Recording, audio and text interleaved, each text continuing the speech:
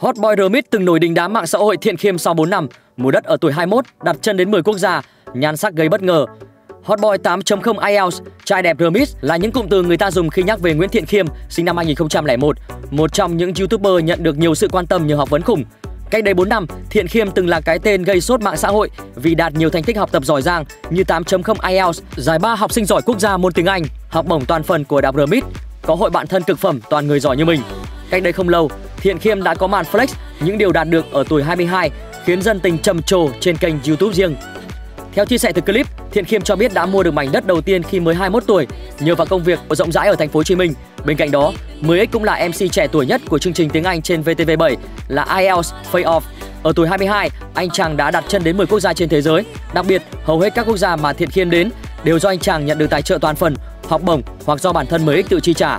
Ngoài thông thạo tiếng Anh, Thiện Khiêm cũng đang học thêm hai ngôn ngữ khác, đó là tiếng Hàn và tiếng Trung. Bên cạnh đó, dân tình còn dành lời khen cho nhan sắc của Thiện Khiêm. Sau hơn 4 năm nổi tiếng, dường như anh chàng chỉ có đẹp trai và đẹp trai hơn thôi.